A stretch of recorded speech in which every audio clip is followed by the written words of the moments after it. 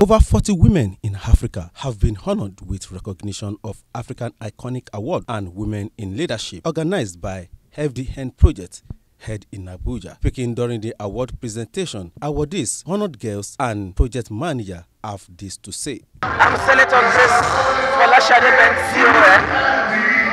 and I'm an awardee for tonight, the African Iconic Woman uh, Award. I'm one of the very, very lucky awardees. Well, um, the category which I was uh, nominated for is um, the award for people that have impacted on the life of uh, mankind.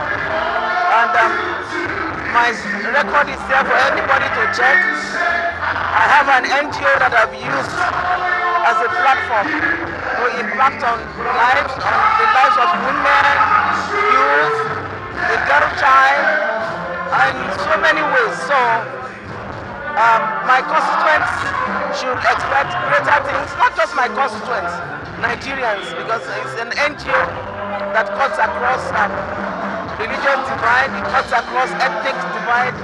It is a platform that is meant for the of life of the downtrodden and the less privileged. So it's not just my constituency, it's a platform that I've used for every Nigerian that my way, my path crosses theirs. The category which I was nominated for, where I've I had a lot of women of uh, track record, women of success, and me to have emerged as a winner It's not feat. I'm so excited. And, I was nominated for Young Athlete of the Year. Okay, so what is your advice to young children like you?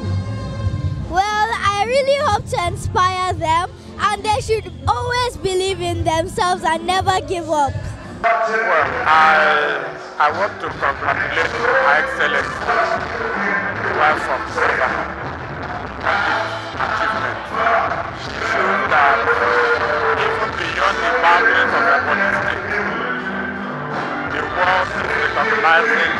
what she's doing. And I want to encourage her to pray for her that God will give her the strength, the wisdom, the ability to do it is clearly honor well deserved. The First Lady of Ebonyi State hit the ground running. She has achieved a lot through her pet program called Bewo, and that is why we are here today. Uh, I'm very, very happy uh, for what is happening here because this is the icon, African icon women of the women. have done their research very, very well. And uh, the voting was also very interesting because it's a very keenly contested award.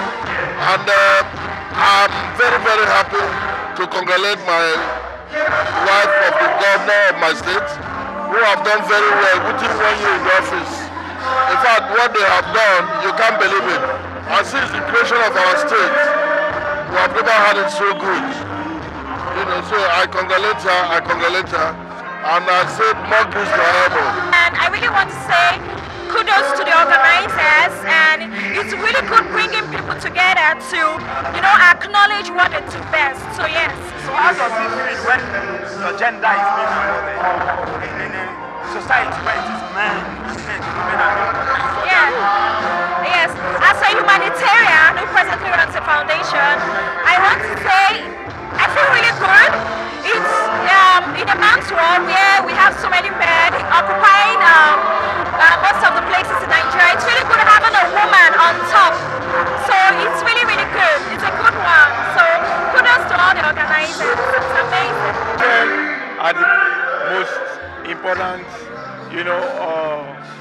Species that we have, but a lot of us take them as the second, you know, uh, most important. But we feel that there's no way, there's no world, there's no life without women. And we decide to stand them, stand them out, identify them, honor them, and present them to the world to be celebrated. Yeah, we didn't pick Ebonyi State governor's wife. We actually were, the, were a platform nominated by the people, and we also give it to the people to vote, and they voted massively, and she emerged as the most outstanding, I mean, best performing first lady of the year. Atonda Babatunde, GTV Africa.